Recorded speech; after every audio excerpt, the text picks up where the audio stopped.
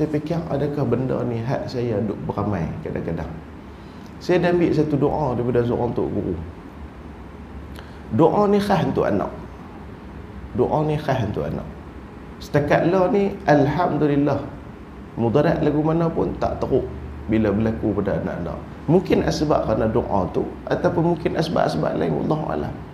Tapi doa tu selalu saya baca lepas semayang tak tinggal. Untuk anak-anak. Allahumma barik lana fi auladina. Ya Allah berkatilah kami dengan anak-anak kami. Wahfadhum wa la tadarrahum.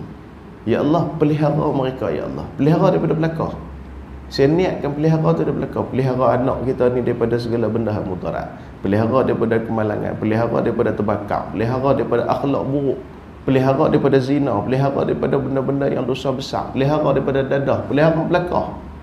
Kita hari ni teruk tuan macam-macam ni risau ke anak. Niat belaka dalam tu ya Allah pelihara mereka wala tadarrahum dan jangan kau mudaratkan mereka ya Allah. Warzuqna birrahum ya Allah dan rezekikan kami kebaikan daripada mereka itu kepada kami ya Allah. Satu doa yang saya tak tinggal untuk anak-anak saya. Saya kata mungkin barangkali wallahu alam. Asbab kita tak tahu. Asbab mungkin barangkali. Hak doa kita dok ramai tu dalam banyak-banyak.